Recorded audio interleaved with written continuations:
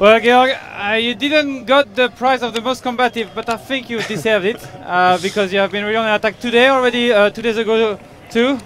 Tell us a bit about uh, today. Yeah, uh, I was feeling better day by day. Um, I think we know that the only option today was going in the break. Um, and yeah, that's what I did.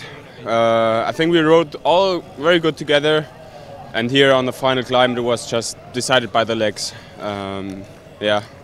And then when you were on your own, you were hoping to get some support back.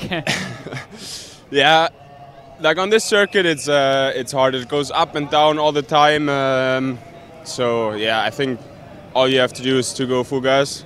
That's what I tried, and yeah. It hasn't been a good week for breakaway. It's more and more, uh, more and more races. There are no good weeks for breakaways, and so harder and harder. Yeah, yeah, definitely. Uh, I feel like the the big teams want to win a lot when they can, and um, but yeah, we gave it a try, and we will keep on trying. and as you said, you feel better and better.